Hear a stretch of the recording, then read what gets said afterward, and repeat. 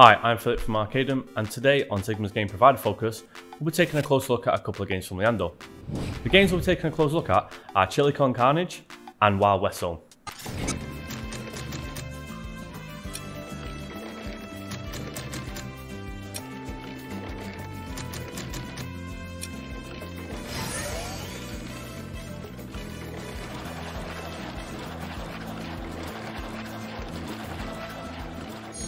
I'm not too sure if this game got its namesake from a popular dish in my hometown of Manchester, but chili con carnage may be a meal that some find too spicy to handle.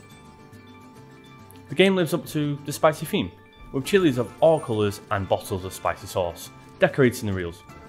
The game is packed with random features, such as random wilds, stacked wilds, win multiplier feature, symbol upgrades, and bonus booster, which is a welcome addition to any base game. The free spin round in this game is a collection mechanic, the more spicy sauces you land, the more the meter fills up. Every time the meter is filled, the lowest chili symbol will be upgraded. If all chilies can get upgraded, then you're in for a spicy win. As you can see from the review, if you love chili inspired puns and big wins, then Chilli Con Carnage is the game for you.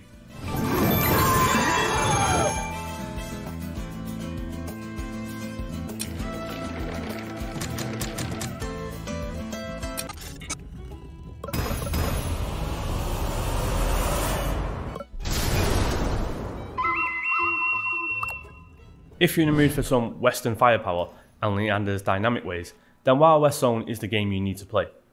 With the addition of dynamic ways, each reel has a chance to have more payways, added within every single spin, which increases the player's chance to win.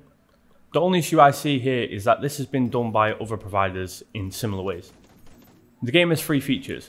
Most Wanted Free Spins feature, which gives Wild a chance to become wanted with increasing multiplier bounties. Cannon Heist free spins, which adds extra 6 reel, giving the player more chances to get bigger wins.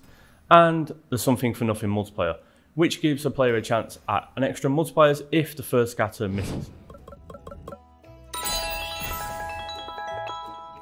The greatest thing about Leander's games is that they're always jam-packed with in-game features.